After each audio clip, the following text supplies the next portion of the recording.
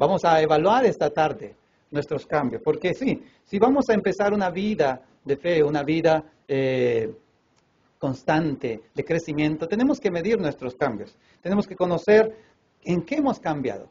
Sí, ¿cuál es el propósito de la vida de fe?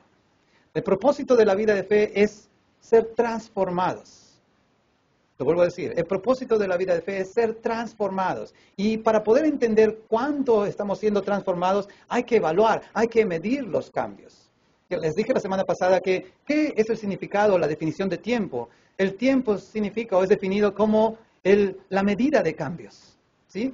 Si vamos a entender que estamos viviendo tiempos de cambios, y este año 2020 es un tiempo de cambio, ya han pasado dos meses, y, estamos en el segundo mes, mejor dicho, y ya hay muchos cambios en el mundo. Hay muchos cambios en, las naciones, hay muchos cambios en la política, hay muchos cambios y como estamos viendo en la sociedad, hay un nuevo orden social y estos cambios son muy acelerados.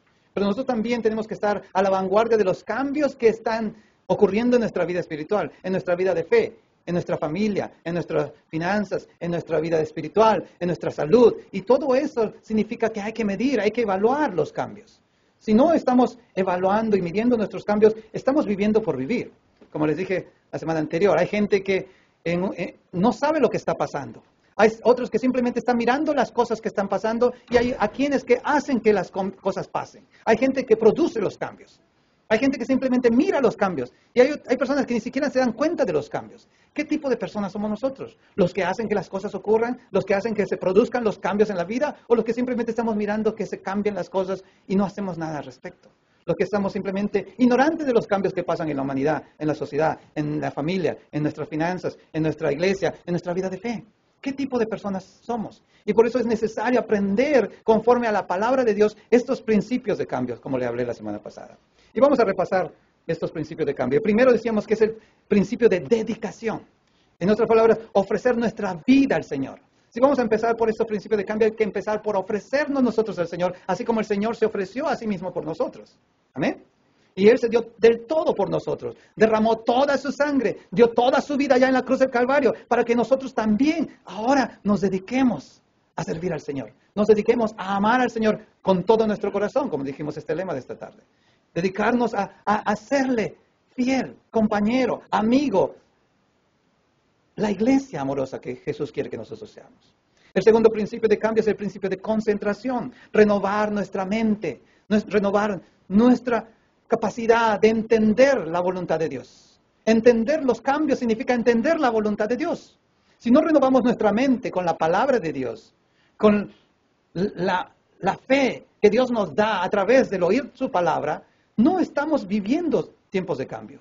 Estamos dejando que los cambios nos arrastren sin saber qué es lo que está pasando en el mundo, qué es lo que está pasando en nuestra vida y por qué pasan las cosas a nuestro alrededor.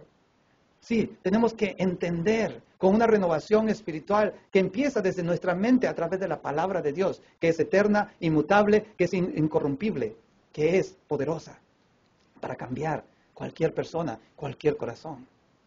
Yo y creo que cada uno de nosotros que estamos aquí presentes hemos experimentado el nuevo nacimiento. Y eso significa que hemos pasado de una vida que era de muerte a una vida eterna, a un nuevo vivir, a una transformación de vivir una vida conforme a la palabra de Dios, conforme a la voluntad del Señor. Esta tarde yo quiero hablar sobre este tercer principio, el principio de evaluación, que quiere decir evaluar o medir nuestra fe en el estado presente. ¿En dónde estamos en este momento, en este tiempo de cambio de nuestra fe? ¿Qué, es la medida de, fe que tenemos en este momento? Si hemos nacido de nuevo ya, ¿cuánto hemos crecido en la fe? ¿Seguimos siendo como aquel bebé recién nacido que necesita de leche materna? ¿O estamos ya comiendo alimento sólido? Y lo mismo es, como en el campo natural, es en el campo espiritual. Después de haber nacido de nuevo, ¿estamos todavía recibiendo la leche espiritual no adulterada o estamos ya comiendo alimento espiritual sólido. ¿Qué quiere decir eso? Todavía queremos que nos prediquen el Evangelio de quién es el Señor Jesucristo, qué ha hecho el Señor Jesucristo, qué está haciendo el Señor Jesucristo, cuándo va a venir el Señor Jesucristo, o ya estamos nosotros siendo discípulos de Jesús y discipulando a otras personas. Miramos nuestra fe. ¿Dónde nos ubicamos en este momento en nuestra fe? ¿Dónde nos ubicamos en este momento en nuestra vida espiritual? ¿Cuánto hemos crecido? Y es importante que esta tarde nosotros, a la luz de la palabra de Dios, entendamos cuánto hemos cambiado y por qué estamos cambiando. Si alguien se dice que es cristiano y no ha cambiado su vida, realmente no ha experimentado el nuevo nacimiento.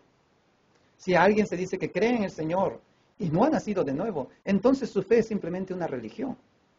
Pero nosotros tenemos una fe viva, una fe que tiene una relación personal, inquebrantable con el Dios eterno, con nuestro Padre Celestial, con Jesucristo nuestro Salvador y con el Espíritu Santo nuestro amigo, nuestro maestro y guía y nuestro consolador. Eso tiene que medirse a través de los cambios de nuestra fe. Esta semana pasada tuve la oportunidad de visitar mi país y ver las iglesias y ver cómo había cambiado también la sociedad. Y después de 11 años de visitar mi país, yo pude medir los cambios. Sin embargo, los que estaban allí en, mi país, ellos no se daban cuenta de los cambios y, y, decían, sí, el Perú está como siempre. Lima está igual que siempre. Y yo les decía, no, ha cambiado. En 11 años ha cambiado. Ya las calles no son iguales, ya las, la gente no es igual, ya el tráfico no es igual, ha cambiado. Pero ellos no se daban cuenta del cambio. Sin embargo, yo después de 11 años, al volver a mi país, a mi pueblo natal, me di cuenta de los cambios. Hay gente que no se da cuenta de los cambios. ¿Por qué? Porque viven una rutina, viven una monotomía y eso ocurre también dentro de la, de la sociedad cristiana. Estamos viniendo a la iglesia todos los domingos, leyendo la Biblia y sí, a veces un versículo u otro nos impresiona, pero estamos a veces rutinariamente viviendo una vida de fe mecánica, robótica. Y no estamos creciendo en nuestra relación personal con Dios. La voluntad de Dios es que seamos renovados en nuestra mente para ser transformados, como dije la semana pasada, como esa, ese como esa oruga que está dentro del cacún, para que un día sea una bella mariposa. Así nosotros estamos dentro de la iglesia, renovándonos, transformándonos, para que un día entremos en la eternidad y seamos como el Señor. Seamos como Él por toda la eternidad. Sí. ¿Qué áreas de su vida necesita evaluar en este momento, de modo que pueda fijar unas metas realistas para cambiar, para poder cambiarlas si es necesario. Sí, necesitamos nosotros entender cuáles son algunas maneras en las que podemos realizar un seguimiento de nuestro crecimiento progresivamente. ¿Quiénes son las personas en nuestra vida con las cuales podemos compartir abiertamente y honestamente nuestros cambios? Eso significa testificar. Eso significa abrir nuestro corazón a, exponernos a, lo que Dios está haciendo en nuestra vida. Y ese es el, puente que tenemos para evangelizar a otras personas. Pero si no hemos cambiado, muy difícil vamos a evangelizar a alguien. Si no podemos medir nuestro cambio, no tenemos un testimonio. Yo puedo decir que, bueno, antes era borracho, antes me gustaba fumar, me gustaban las discotecas, era un parrandero, era la oveja negra de mi familia, pero ahora yo puedo decir, sí, ya no soy la misma persona. Y eso es una plataforma para mí evangelizar a otras personas. Cuando yo estuve en Perú y en Brasil estas dos últimas semanas, todo el mundo me preguntaba, ¿cómo has cambiado? ¿Qué hiciste para cambiar? Esa fue la pregunta clave que yo usé para poder evangelizar a ellos, para poder compartir a ellos. ¿Qué hiciste para cambiar? Me preguntaba. ¿Cómo empezaste a cambiar? Me preguntaba. Entonces, desde las escrituras y desde mi experiencia, a través de conocer al Señor como mi Salvador personal, les explicaba cómo empezó mi cambio. De ser un borracho, de ser un parrandero, de ser un mujeriego, de ser un mentiroso, de ser un, ladrón, ahora a ser una persona que sirve al Señor. Nadie en mi pueblo natal lo podía creer. Y ahora ellos se sorprendían de que, que me llamaban a mí pastor de iglesia. Si nosotros no entendemos y medimos nuestros cambios, difícilmente vamos a poder compartir el Evangelio. Por eso necesitamos entender los principios de cambio y los principios de evaluar nuestros cambios. El primer y más grande obstáculo para el cambio en cualquier área de nuestra vida es el orgullo. Si nosotros decimos que ya no necesitamos cambiar en nada, estamos ya cayendo en pecado, en el pecado del orgullo. Si quiere tener un cambio duradero en su vida, primero hay que evaluar humildemente su estado actual y admitir que usted no ha logrado todo. El apóstol Pablo podía decir, yo prosigo a la meta, al supremo llamamiento de Cristo Jesús. No es que ya lo haya alcanzado, sino que prosigo a la meta. Si el apóstol Pablo en Filipenses capítulo 3 dice eso, ¿cuánto más nosotros que estamos en proceso de cambio, en proceso de transformación? Todavía no estamos en el cielo, pero ya tenemos el cielo de regalo. Sin embargo, tenemos que cambiar nuestra vida, no para ganarnos el cielo, sino para ganar personas que vayan al cielo con nosotros. ¿Me están entendiendo? No estamos cambiando para ganarnos el cielo. Eso lo pueden decir los religiosos, que se ganan el cielo, que se ganan eh, eh, eh, esa dimensión que ellos no conocen por sus obras. No, nosotros ya tenemos el cielo de regalo. Sin embargo, para ganar más personas, para que vayan al cielo con nosotros, tenemos que cambiar. Tenemos que mostrar que el cielo es real a través de nuestra transformación, a través de nuestro cambio. Tenemos que admitir que tenemos un problema con el que estamos luchando en las finanzas, en la salud, en la familia, en la fe, para poder ser originales en nuestro testimonio y poder decir, sí, estoy en el proceso de santificación, en el proceso de ser como Jesús. Tengo mis debilidades, pero Dios me ha ayudado hasta aquí. Dios es benecer, me ha ayudado hasta aquí a cambiar mi vida. Y, si lo hace así conmigo, también lo puede hacer con usted. Esa es nuestra forma de cómo evangelizar a otra persona. No se trata de salir a la calle, se poner una parcarta y decir, crean en el Señor Jesucristo, o ya se viene el juicio y el coronavirus va a venir y, la plaga ya está aquí, arrepiéntanse porque ya viene el Señor. No, así la gente nadie va a escuchar. Pero si mostramos nuestro cambio, si la gente ve que hemos pasado de muerte a vida, entonces vamos a tener los oídos prestados de ellos para poder compartir el Evangelio y la palabra que renueva y transforma nuestra alma. La pregunta esta tarde es, ¿dónde tengo que cambiar? ¿Dónde tengo que cambiar? Pregúntese a sí mismo, ¿dónde tiene usted que cambiar? Vamos a volver a la escritura ahí en Romanos capítulo 12, versículo 3, y dice, digo pues por la gracia que me es dada a cada cual que está entre vosotros, que no tenga más alto concepto de sí del que debe tener, sino que piense de sí con cordura conforme a la medida de fe que Dios repartió a cada uno. Vamos a concentrarnos en este versículo 3 porque ya explicamos la semana anterior el versículo 1 y 2. Y vamos a hablar sobre este principio de evaluación o el principio de medir el cambio. La escritura nos está diciendo, por la gracia que me es dada a cada cual que está en vosotros, que no tenga más alto concepto de que el que debe tener, sino que piense con, de con cordura conforme a la fe que Dios repartió a cada uno. Entonces necesitamos primero medir la gracia. Una gracia medida. O poner nuestra regla de medición, ¿sí? nuestro centímetro espiritual. Y necesitamos la medida o la regla de gracia para medir nuestra fe. En otras palabras, ¿cuánta gracia ha recibido del Señor? Póngase, póngase a medir la gracia que ha recibido. Efesios 1.7 nos dice que tenemos redención por su sangre, el perdón de los pecados, según la riqueza de su gracia. Entonces, por gracia tenemos ya el perdón de los pecados. Amén. Sigamos midiendo. Efesios 2.8 eh, dice, por gracia somos salvos por medio de la fe.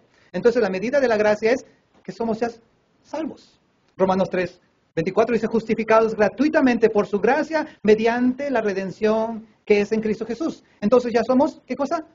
Justificados. Romanos 11, 5 dice, escogidos por gracia. Entonces, ¿usted qué cosa es? Dígalo, escogido. No lo cree, no lo dice fuerte.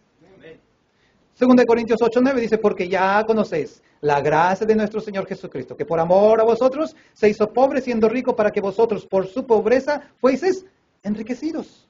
Entonces, la medida de gracia dice que somos ya enriquecidos. Y esas riquezas empiezan espiritualmente, luego materialmente, físicamente, emocionalmente. Pero empieza por las cosas espirituales. Amén. Así que mira nuevamente con la gracia cuánto ha recibido del Señor por gracia. Perdonados nuestros pecados, salvos, justificados, escogidos y enriquecidos en el Señor. Lo segundo que tenemos que medir por la gracia es cuánto concepto de mí mismo debo tener. ¿Cuánto concepto de mí mismo debo tener? 1 Corintios 15, 10 dice, por la gracia de Dios soy lo que soy. Y su gracia no ha sido en vano para conmigo. Antes he trabajado más que todos ellos, pero no yo, sino la gracia de Dios conmigo, dice el apóstol Pablo. El apóstol Pablo se está midiendo a sí mismo y dice, por la gracia de Dios soy lo que soy. ¿Sí? Dígale a la persona que está a su costado, por la gracia de Dios. Usted lo que es lo que es. Usted es lo que es por la gracia de Dios. ¿sí? Yo soy lo que soy, usted es lo que es por la gracia de Dios. Por eso tenemos que entender la medida de gracia que hemos recibido de Dios. Hasta ahora Dios me ha ayudado hasta aquí. Dios es benecer, el Dios que me ayudó hasta aquí. Y si Dios nos ha ayudado hasta aquí a ser este tipo de persona que somos, tenemos que ser agradecidos a Dios. Efesios 3:7 dice, fui hecho ministro por el don de la gracia de Dios que me ha sido dado según la operación de su poder. Así que somos ministros de Dios, somos el pueblo de Dios, somos hijos de Dios, somos ciudadanos del reino por la gracia de Dios. Aleluya. Eso tenemos que entender esta tarde. Y si usted no lo es, en esta tarde le arreglamos el problema, recibiendo a Jesucristo como su Señor Salvador. Y lo mismo los que nos están viendo a través de Internet. Lo segundo que tenemos que medir, o la segunda medida, la segunda regla de medición que necesitamos es la medida de fe. Amén. Dice la Escritura que tenemos que medirnos con cordura. Romanos 2.3 nuevamente dice, no tenga más alto concepto de sí que el que debe tener. No más alto concepto de sí del que, del que debe tener. En otras palabras, una sana estima personal es importante. ¿Por qué? Primero, algunos piensan de sí mismo muy mal o muy bajo. Otros piensan de sí mismo en demasía o muy soberbiamente. ¿Cómo piensa usted de sí mismo? ¿Se compara usted con otras personas de tal modo que se siente más que otros o menos que otros? ¿O tiene una sana estima de sí mismo? ¿Cómo se evalúa usted? ¿Con cordura o en demasía? ¿Con cordura o con locura, diría yo? ¿Sí? Porque si alguien le dice a usted que está loco, de la forma que usted piensa, quizás porque su forma de hablar o su forma de comportarse no es con cordura, o su estima no es con cordura, sino es, está poniéndose muy encima o por el contrario, se está desestimando a sí mismo demasiado bajo. Sí, hay mucha gente en el Evangelio que piensa muy mal de sí mismo, se condena a sí mismo. Yo tuve que pasar mucho tiempo en sanar mi corazón porque yo me condenaba a mí mismo a través de las Escrituras. Cuando leía el, Antiguo Testamento, lo primero que era, era arrepentirme. Yo creo que hice la, oración de salvación más de mil veces en mi vida, porque no creía que era salvo, porque no estaba seguro de mi salvación. Yo decía, ¿cómo una persona como yo puede ser salvo? ¿Cómo Dios me va a escoger como pastor? Jamás de los jamases. Imposible. Pero sin embargo, la escritura misma que me llevaba a los pies de Cristo me daba sanidad, me daba gracia y me decía que Dios me amaba y me restauraba mi estima. Pero no para ser soberbio, no para decir, ah, Dios me ama solo a mí y solamente a mí. Aunque eso sí, una vez lo prediqué. Como el apóstol Juan, que en su evangelio, él dice, al discípulo que Jesús más amaba. ¿Han leído esa parte en la Biblia? ¿Sí? Al discípulo que Jesús más amaba. ¿Por qué? Porque Juan se estimaba a sí mismo como aquel que estaba a los pies de Cristo, como aquel que estaba al costado de Cristo, escuchando el latir del corazón de Jesús. Y sí, nosotros tenemos que tener esa sana estima de que Dios me ama a mí más que todas las personas de este mundo, pero no para vanagloria, sino porque tener una confianza, un amor y una relación con Dios que nadie en este mundo la puede tener. Yo cuando estuve en Perú evangelizando a las personas, yo le, y hablando con mis parientes, que la mayoría en sí son católicos, otros son ateos, me preguntaban qué, tan religioso era yo. Porque claro, como sabían que yo era pastor de iglesia, me decían, bueno, tú eres una persona religiosa. Yo les decía, no, yo no soy religioso. Y tampoco tengo una religión. Pero me decían, pero si tú eres un evangélico, tu religión es evangélica, tú eres un cristiano. Yo les decía, sí, quizás en una forma hago religión, pero yo no soy un religioso. Yo tengo no una religión, tengo una relación con Dios. Y les explicaba la diferencia. Yo no tengo una religión, tengo una relación con Dios. Y usted, cuando evangelice, también dígalo. Yo no tengo una religión, tengo una relación con Dios. Y si usted tiene una relación con Dios, la gente lo va a notar. La gente lo va a medir. Va a ver que usted no tiene una religión y que va a la iglesia por costumbre y que diezma por costumbre y que ofrenda por costumbre o sirve por costumbre, sino porque tiene una relación con Dios. Y aunque alguien le insulte, le menosprecie, no le agradezca o le critique, usted no va a dejar de servir, no va a dejar de amar, no va a dejar de venir a la iglesia, no va a dejar de ofrendar, no va a dejar de diezmar. ¿Por qué? Porque tiene una relación con Dios. Y eso nadie se lo puede quitar. Sí, tenemos que medir nuestra fe con cordura y segundo, tenemos que medir nuestra fe con humildad. Dice nuevamente el versículo 3, piense de sí con cordura. Eso quiere decir que usted tiene que ser humilde en, la forma como evalúa su fe. Que no sea vencido del orgullo, sino que venza con la fe su orgullo. Sea honesto con sí mismo. No pretenda ser alguien que no es. Sea usted mismo. ¿Sí? A veces nosotros queremos ser como aquel hermano que es muy espiritual. O queremos ser como aquel pastor o como aquel líder o como aquel eh, evangelista, como aquel cristiano que vemos en la televisión. O como aquellos que salen en las películas cristianas, ¿sí o no? Yo a veces veía en mi principio de fe muchas eh, películas cristianas y veía que, qué tan santos eran en, las películas. Decía, ¿cuándo llegaré yo a ser como ellos? y quería ser como yo, imitaba esa forma de hablar, predicar y todo lo demás, hasta que yo entendí que Dios no quería que yo sea otra persona, sino que sea yo mismo por la gracia que Él me había dado, pero al mismo tiempo cambiando y transformando mi vida por esa medida de fe que daba cada día en mi vida. Así que al evaluarse a sí mismo bajo los estándares del éxito y los logros humanos, nosotros podemos pensar demasiado en un valor que tenemos a la vista de la, de la gente, a la vista de los ojos de otras personas. Pero sin embargo, el valor verdadero y la verdadera estima que tenemos o debemos tener es la que Dios nos da y la que Dios nos ve en la medida de fe y en la medida de gracia que Él nos da. Dios nos ve a nosotros como sus hijos. Dios nos ve a nosotros como santos, lavados por la sangre del Cordero. Dios nos ve a nosotros como instrumentos para su gloria. Y si nosotros no tenemos una estima sana, no vamos a servir al Señor correctamente. A veces yo escucho, y he escuchado en muchas iglesias, que la gente se daña mucho en las relaciones de los, de los siervos de la iglesia. ¿Por qué? Porque se chocan en su personalidad y porque unos piensan que su ministerio o su servicio es mejor que el de otro. Y se califican unos a otros y menosprecian unos a otros y, por ende se critican y luego uno de esos miembros se va de la iglesia. Eso lo he visto en muchas iglesias, lo he visto en este viaje a Perú también. Y me contaban, pero pastor, usted no sabe lo que pasa en esta iglesia. Y yo le digo, ya me lo imagino. Y me contaban, no, pero usted no sabe por qué fulanito, por qué sutano, por qué el pastor o por qué el líder. Y yo le digo, bueno, eso ya lo he visto en todas las iglesias, en Perú, en Corea y en todas partes del mundo, porque es igual.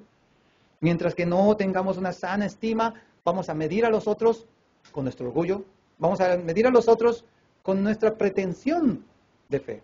Porque le digo algo muy cierto, y lo dicen los psicólogos, que cuando una persona exige a otra que sea de esta o tal forma, es porque esa persona tiene en su conciencia un remordimiento que no lo ha logrado en sí mismo, que no ha sido capaz de ser la persona como él quería ser y por ende juzga a los demás y exige a los demás ser ese tipo de persona que él mismo no ha podido ser.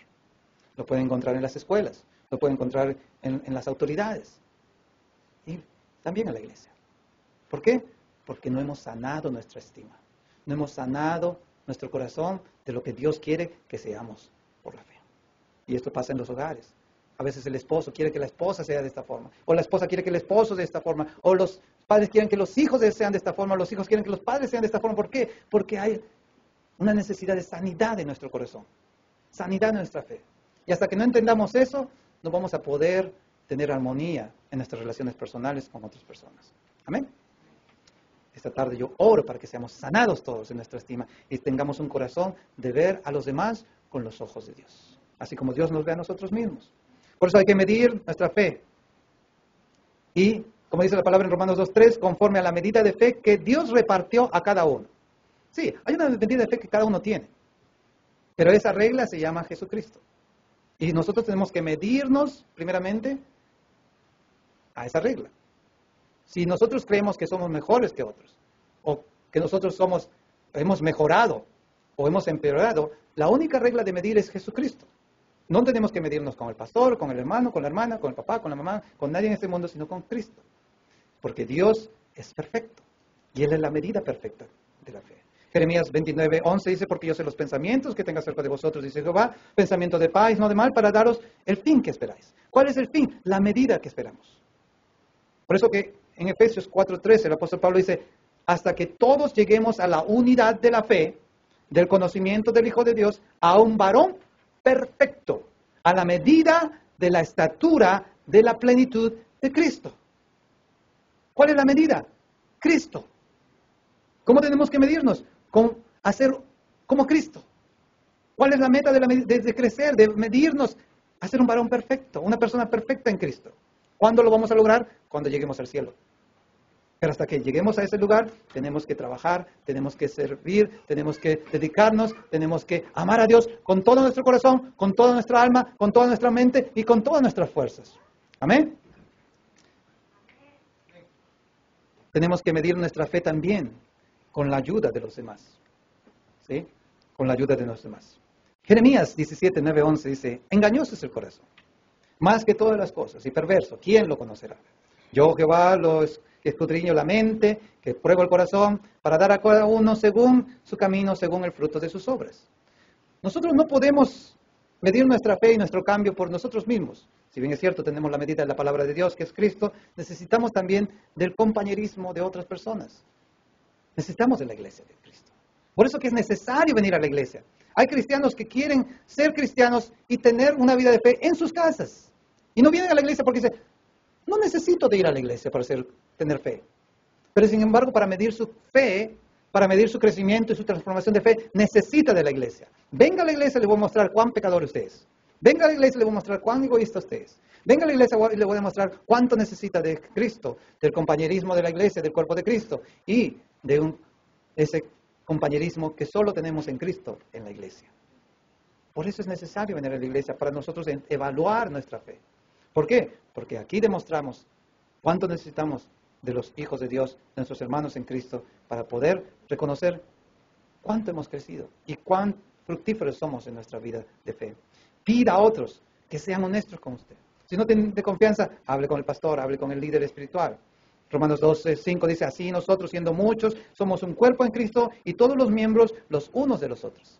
Si tenemos confianza con el hermano espiritual, sí, compartamos nuestras debilidades. Pidámosles una crítica constructiva, no destructiva. Y cuando seamos críticos, seamos constructivos, no destructivos. No critiquemos por criticar, critiquemos sabiendo que eso va a ayudar a la persona a crecer, no a destruirla. Sí, para terminar,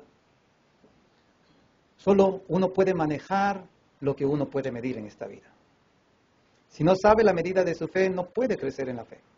Si no conoce la medida de su salud o cuán saludable es, no puede desarrollarse ni crecer en su salud. Si no conoce la medida de su situación financiera, no podrá, podrá establecer metas financieras. Si no sabe la medida de dónde se encuentra espiritual, vocacional, relacionalmente, tampoco entonces podrá crecer en estas áreas de su vida. Mira su relación con las personas. Mira su relación con su cónyuge, su esposo, su esposa. Mira su relación con sus hijos, sus hermanos, sus hermanas, sus padres, sus parientes.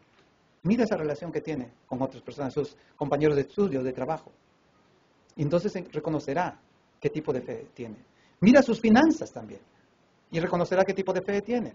Porque si usted no diezma, si no ofrenda regularmente, si no agradece a Dios con sus ofrendas, no me diga que necesita ayuda financiera. No me diga que está pasando usted penalidades. ¿Por qué? Porque la palabra mismo lo dice. Si usted no diezma, ya es un ladrón para, con el Señor. Si usted no ofrenda, no tiene agradecimiento ni amor por Dios.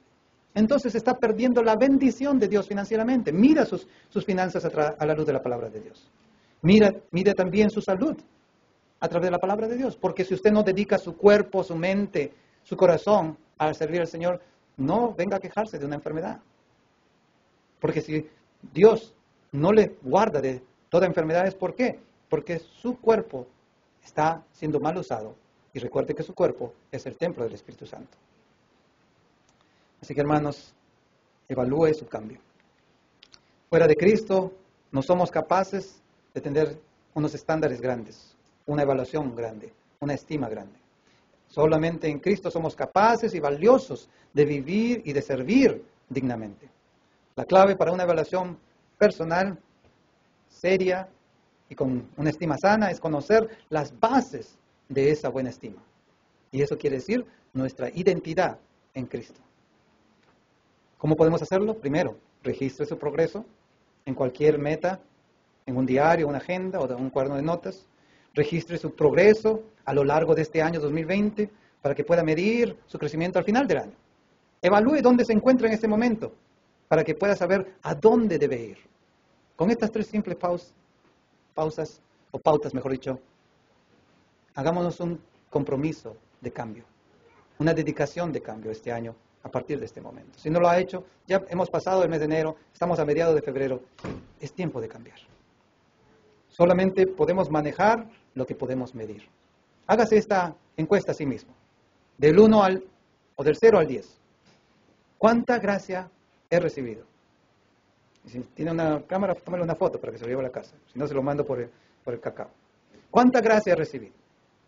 ¿Cuánto amor he recibido? ¿Cuánta fe tengo? ¿Cuánto amor tengo para dar? ¿Cuántos talentos y dones tengo? ¿A cuánta gente amo? ¿Cuánto estoy sirviendo a Dios y a los demás? ¿Cuánta influencia tengo en liderazgo, en testificar, acerca de mi fe para Dios y para los demás. Con esta simple evaluación, mida su fe, mida su crecimiento y mida su relación con el Señor y con los demás. Según de Corintios 5, 16, 17 dice, de manera que nosotros de aquí en adelante a nadie conocemos según la carne y si y aún si a Cristo conocimos según la carne, ya no lo conocemos así. De modo que si alguno está en Cristo, nueva criatura es, las cosas viejas pasaron y aquí todas son hechas nuevas. ¿Realmente usted quiere cambiar? ¿Está buscando un cambio en su vida? ¿Quiere que Dios lo renueve y lo transforme a la medida, a la estatura de un varón perfecto, una, una mujer perfecta en Cristo? Es tiempo de dedicarse, de concentrarse y de evaluarse en el Señor para que esos cambios sean de bendición para usted y para los que le rodean en el nombre de Jesús. Amén. Vamos a orar.